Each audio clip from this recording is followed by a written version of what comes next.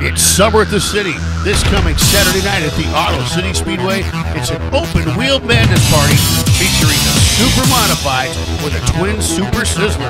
Also, the finished Modifieds will be on hand, along with Auto City's regular Modifieds, Virtual Hornets, and Spectator Drags. Racing starts at 7 p.m. Where MSU or U of M here, and you're going to get $2 off your general admission. Come on out and enjoy yourself. It's open wheel madness at the Action Track of Michigan, the Auto City Speedway.